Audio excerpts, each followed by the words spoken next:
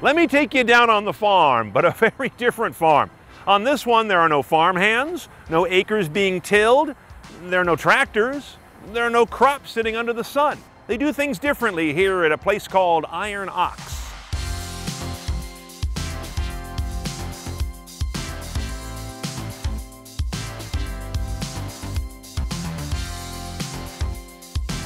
What's happening here that's different from any other place where little green things are being grown?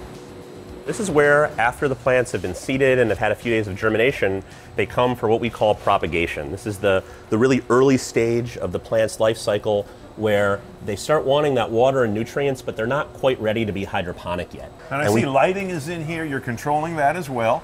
Yep. And it's all LED. You don't need the sun to hit these plants. At, at this stage, they don't need that much light. They're really packed in tight. Yeah. So you're using very little energy and you can just sort of pack them in.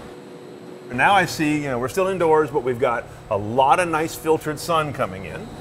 What do you call these big square trays? So these are our grow modules, and it's one of the, the key innovations that we think will really set us apart. And so each module will hold several of these rafts. Uh, these one, are rafts? Yes. Okay. And these have just been harvested. Oh, yeah, they're floating. These are rafts. Okay. Mm -hmm. And this is where the plants will spend the majority of their life. And what's under here is the, uh, the water that the roots are suspended in, and all of the nutrients the plants need are in that water. Okay. And the reason we grow in these modules is it means that each group of plants can get water with just the nutrients that it needs. Uh, rather than having pipes that go through a whole large facility and just pump out the same water to every single plant, we can give each one of these modules how much water it needs and exactly the nutrients that they need and when they need them. Okay, so you've got the addressability down to this scale, which is pretty small as farming goes, right? Normally it's yep. a huge field. But how do you put water and nutrients in here? I don't see any pipes or hoses or anything. We have to be able to bring these modules to where the water is and to where sensors are. And that's where our mobile robot called Grover comes in.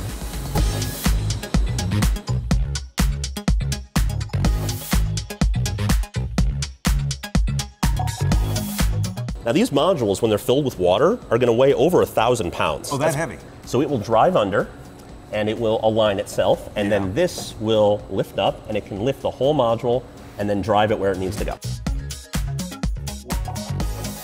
We have the same types of sensors you'll see on a lot of other autonomous vehicles or mobile robots. Yeah. There's, there's LiDARs, lasers. We also have uh, this forward camera here. And then we also have this upward facing camera, which isn't for navigation, this is for asset tracking. When we drive oh. under a module, we can look at you know some tags and make sure we know oh, so the license module. plate's on the bottom of those things. Yep. Interesting, okay. Where would this deliver a grow module full of plants and what happens when it gets delivered there? So there's many different work cells that we can bring it to. Uh, one is, is this unit here, which we call a photo booth. So what happens in here? So this is where we can get 3D scans of a module of plants. Grover will bring one of the modules into this center right here. Yeah. And then we've got all of these cameras that can take pictures of the plants. I see four pair here. Yep. And from all those different angles, we can combine them and we can get a really high resolution scan of all the plants. And this lets us understand quite a bit about how those plants are growing. It lets us make sure that they're growing kind of on track. It lets us predict how much we're going to have when we harvest it. Uh, it lets us see if an intervention is needed. Maybe it needs a little bit more fertilizer. Maybe it needs a little bit more water. And by taking it in this way, we can get all that information into our systems and sort of close that loop. And since Grover is picking it up right there, it can take it where it needs to go for the next step. They're much higher resolution uh, than uh, you or I could see, and not to mention, we can train our models on, you know, specifically on the things that really matter for each different crop type. One of the key things you're either solving for and or challenging is the human eye. A lot of this today is done with very experienced farmers and growers yep. and field staff that are running around and saying, I've got lots of experience, I can touch and smell and see. That's how we train the system, is with those knowledgeable experts teaching the, the computer what to look for. But once we've got this system trained, now it's robots bringing it to one location. All right, so you've shown me a lot of interesting tech, robotics and sensing working together. What's the big point? Why does this need to be done? These sorts of facilities, when we can do them at scale, they let us be a lot more efficient in all the different resources that we're using, and they let us put these facilities in all sorts of places and grow during periods we otherwise would not be able to grow in. See, I like that idea of sort of not local but regional agriculture. It doesn't have to be hyper local. It doesn't have to be, you know, one of these facilities in the center of a big city. It can be regional. It can be, you know, hours and hours away that's still much, much closer than being shipped thousands of miles. Yeah. You know, being shipped, uh, you know, by a plane or by a boat.